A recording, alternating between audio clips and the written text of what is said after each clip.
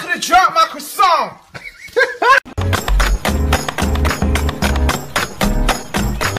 hey, what's your favorite color?